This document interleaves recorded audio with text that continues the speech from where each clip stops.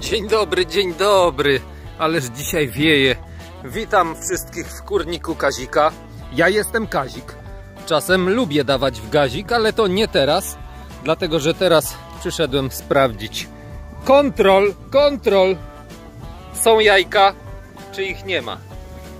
Ta kura rosa y, już powinna się nieść. Zniosła niedawno, jak y, ci, którzy śledzą kanał, pewnie pamiętają, że zniosła takie małe jajeczko. I ja cały czas, każdego dnia chodzę, sprawdzam gniazda. Jest! Jest jajko. No nie, no to już nikt mi nie powie, że to jest małe jajko.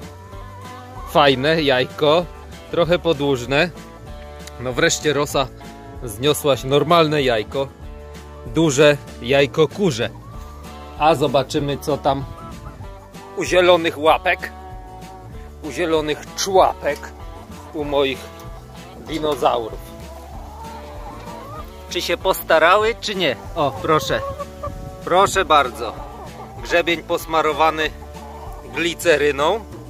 I od razu lepiej. I od razu ma wzięcie. I od razu wszystkie koguty lecą na dziewczynę.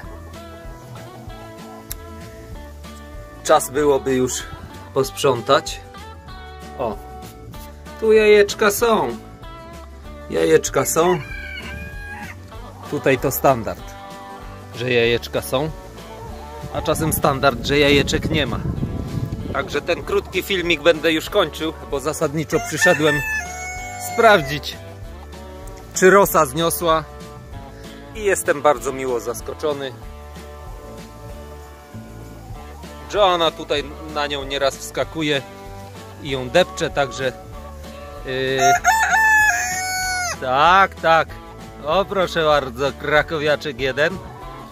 Także jak tylko zwolni mi się miejsce w inkubatorze, to pewnie jajka od tych dwóch rudzielców również będę inkubował. Na pewno wyjdą fajne pisklęta.